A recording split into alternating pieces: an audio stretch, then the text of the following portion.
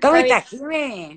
Bien, bien. Gracias por estar acá. No, por favor, al contrario, gracias por la invitación. Semejante line-up este, previo de, grandes cabezas y de grandes mujeres es realmente todo, todo un honor. Eh, por favor. Así que un gustazo. Por favor. Vos sos, eso es mucho más.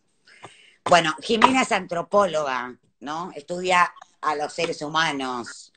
¿Qué te dice este momento, Jimé? ¿Qué no me dice? No me dan las manos para hacer los eh, a ver, qué sé yo, me parece que es un gran, es de las veces, al menos en, mi historia, por mi edad, que, y creo que, es global, obviamente, esto, ¿no? es un gran laboratorio social lo que está pasando, porque es verdad que estuvo la peste negra y la gripe española y todo el asunto, pero bueno, esta, esta amplificación que hoy tenemos, esta misma posibilidad linda que tenemos hoy estar charlando así, también nos acerca al mundo de una manera eh, bestial. Eh, entonces, nada nos es ajeno, este, ¿no? Como esa frase, nada de lo humano me es ajeno. Bueno, nada, nada de esta pandemia nos es ajeno porque porque nos sentimos conectados con los italianos que brindan por el balcón, con los de Barcelona que están con el barbijo, con los de Irán que están en, otra cosa. Realmente estamos más globalizados que nunca, ya lo sabíamos, esto no es un descubrimiento, se sabe desde los medios de comunicación en adelante, pero diría que si hay un insight interesante en esto, es, mirá si no estaremos interconectados, que nos estamos contagiando todos, ¿no? Totalmente. O sea, a tal punto estamos interconectados para bien y para mal.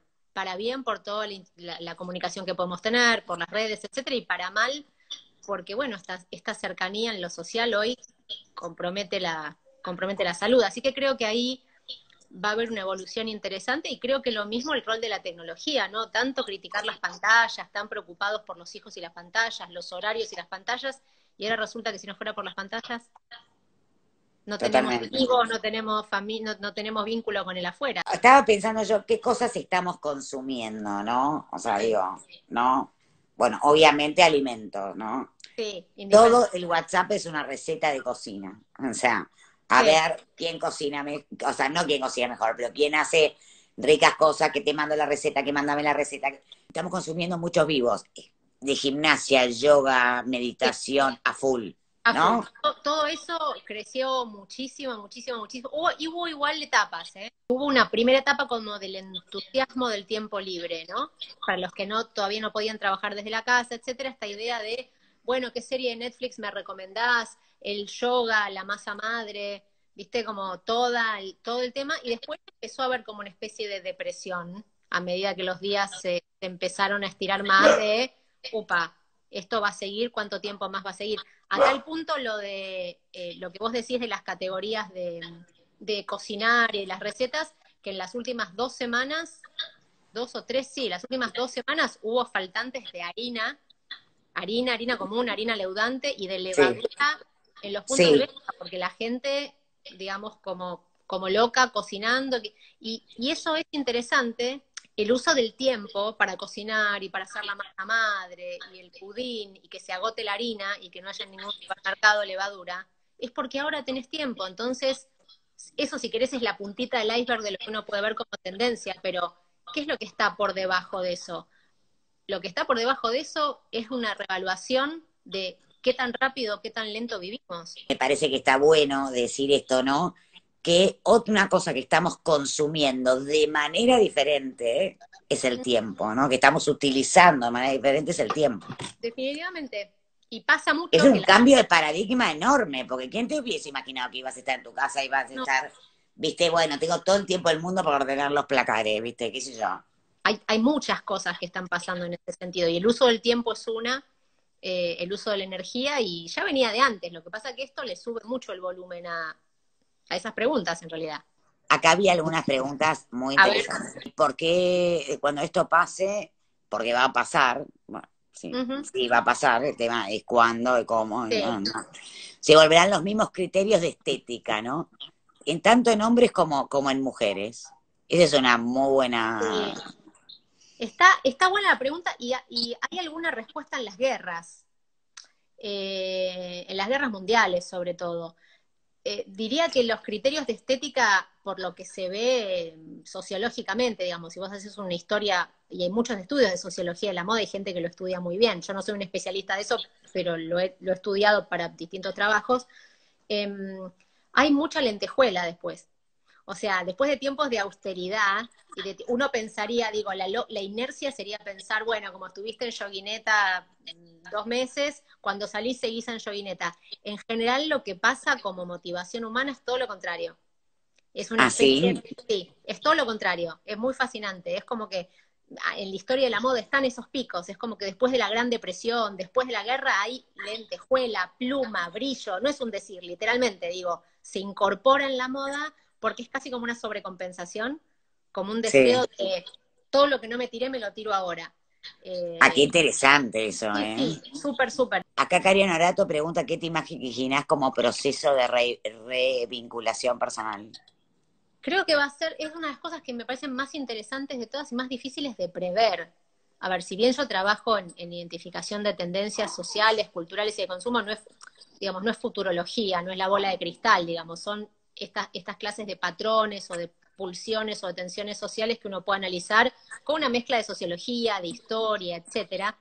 Em, y sí me parece que va a ser de lo más interesante de evaluar, porque creo que va a haber algo con la distancia social. Ustedes saben que la, última semana hubo todo como un, pedido de no llamarlo distanciamiento social, sino distanciamiento físico. Porque bueno, las palabras significan. no son gratis. No son, gratis. Entonces es como que si uno dice, un poco el pensamiento detrás de esto es que si uno dice, eh, bueno, distancia social, parece como que nos alejáramos como seres humanos y en realidad no debería ser así, ¿no? Entonces, eh, hay, hay un pensamiento con eso. Yo creo que vamos, es muy probable que vayamos a guardar distancias. Eso sí creo que va a pasar. Y creo que la, incluso ya se está viendo, la, mirada del otro, cuando salís a la calle, mirarte con alguien, es como un temor al contagio muy, muy, muy fuerte. Hay una antropóloga que es una genia, era una genia, murió hace muchos años, este, que se llama Mary Douglas, y que escribió un libro espectacular que se llama Pureza y Peligro. Y lo que ella decía, tiene una frase que a mí me, me quedó muy grabada, que decía, donde hay suciedad hay sistema. ¿Qué significa eso? Es una frase espectacular. Mary Douglas es como, lo que, les, estoy diciendo es como si estuviera diciendo Freud para la psicología. Eso es una grosa antropóloga mujer, además, estudiando sistema de parentesco, una genia. Y esa frase de, donde hay suciedad y sistema significa, por ejemplo, para darles un ejemplo, ¿ustedes ponen los pies arriba de la mesa? Calzados o descalzos. ¿Se, ¿Se, ponen en nuestra sociedad los pies arriba de la mesa? ¿Queda bien? ¿Es correcto? No, es mala educación. es mala educación, está mal. ¿Por qué? Porque los gérmenes, porque hay todo un sistema. El pie, vos vas, te lo pones, pisás la calle, pisás el exterior, volvés y no podés, a donde ingerís, no podés incorporar un germen. O no deberías. Entonces hay un sistema, está lo que se tiene que ingerir y está lo que se tiene que expulsar, está lo que puede ingresar a la casa y está lo que tiene que mantenerse afuera. Y un profesor mío de Flaxo, que yo lo quiero mucho y lo admiro mucho, posteaba el otro día y decía, ¿qué picnic se debe estar haciendo Mary Douglas en el cielo? Y sí, porque imagínense que con esto es, traes de la afuera el peligro. Total. Te lo podés comer, te lo puedes meter en el ojo, no te das cuenta, no lo ves, es transparente. Entonces es como, como diría la gran Mary Douglas, donde hay suciedad hay sistema y creo que es probable que nos afecte en cómo nos relacionamos porque en el contacto hay suciedad hoy. Claro. Entonces, es la máxima, la máxima intimidad, es el máximo peligro posible. Es un poco, la semana pasada alguien hablaba de, un poco el cambio sociológico que, eh, que generó el SIDA, ¿no? Cómo cambió políticas de encuentro sexual, de, prácticas sexuales que sí se podían hacer o que no, eh, y, y, que bueno, que si esto dura mucho, es probable que besos, abrazos, ni hablar los argentinos con el mate, que ya de por sí era una especie de bueno. sociológica para cualquier extranjero y horrorizado, em, es probable que cambie, pero creo que es como súper interesante seguir, de seguir mirándolo. Ustedes saben que existe una disciplina que se llama proxemia, que es el estudio de las distancias. Seguramente les ha pasado a, a todas, a todos, en, no sé, trabajando con algún extranjero o viajando, que te paras a una distancia, o en un ascensor o en un espacio cerrado, te paras a una cierta distancia.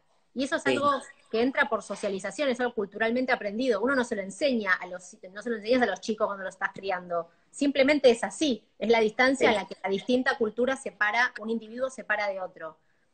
Y es probable que esta situación que estamos viviendo nos haga tener cambios en la proxemia, precisamente. ¿En qué nos parece aceptable tener como distancia física de otro? Si el otro es potencialmente fuerte de suciedad, peligro, contagio, enfermedad, y como diría Merida Glass, pone en evidencia el sistema. Mira lo que dice Gaby, acá terminé, que está buenísimo, me parece. Las redes sociales para buscar pareja murieron. yo diría que al contrario, o sea, me parece que todo lo que se puede virtualizar eh, está sí, pero no tenés contacto. Ah, bueno, después será la creatividad, seguramente habrá, habrá nuevos modos de relacionamiento con esa motivación inicial de estar en contacto con otro, pero yo diría que todo lo que es virtualizable, con sus peros y con sus limitaciones, va, a seguir siéndolo, no creo que hayan muerto. ¿Cuál es el efecto que puede tener eh, en, los chicos, por ejemplo, ¿no? Este tipo de escolaridad. ¿Qué sé yo? O sea, no, no, quiero, no quiero caer en algo como poco, poco serio ni hacer ninguna cosa de futurología, porque no, no, no, no es mi, no es mi visión de cómo, de cómo se investiga, pero sí me parece que, entre otras cosas, esto también trae una reevaluación de eh, los modos de aprender, de la virtualización sí, la virtualización no.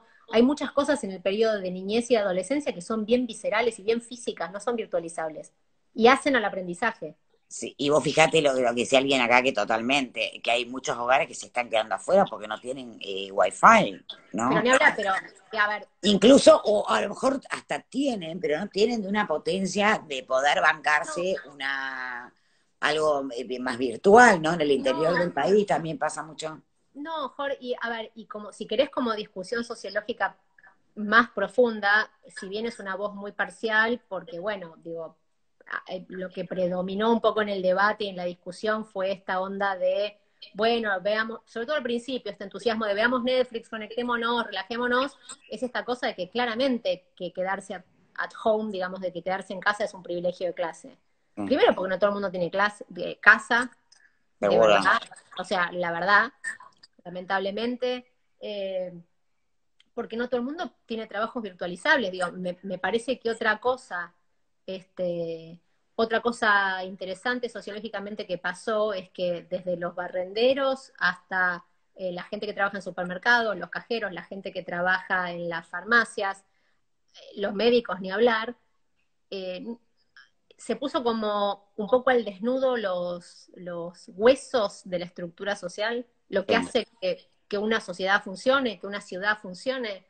El barrendero no puede tener wifi y virtualizar y es indispensable y lo necesitas. Entonces hay como toda, me parece, una retórica de los héroes, son los héroes, pero después también tenés consorcios que te dicen, si sos médico no entres a mi edificio. Exacto. Entonces lo aplauden a las nueve de la noche, pero después le ponen un cartel en el ascensor, no entres porque tengo miedo que me contagies, pero al mismo tiempo reservamos un respirador, ¿eh? porque si me llevo a contagiar.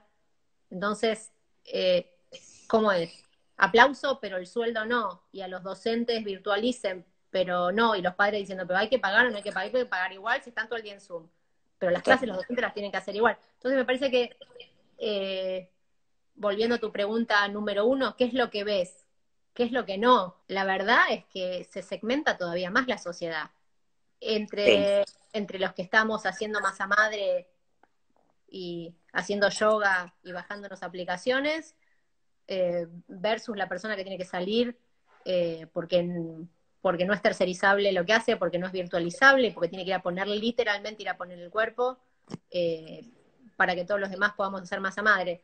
Me parece que eh, son esas tensiones estructurales, si querés, sociales del capitalismo, llamalo como quieras, que, que, eventos como estos, que de repente se pone la realidad, se te pone la cotidianidad patas para arriba, te hacen, te obligan mirar cosas estructurales que antes no hubieras visto. Entonces caen en la volteada todo, cómo se distribuye la tarea al interior del hogar, los repartos de poder, eh, lo, justo o injusto de tareas, de sueldos, de lo virtualizable, de los, de los gaps que hay de acceso a la tecnología y la educación.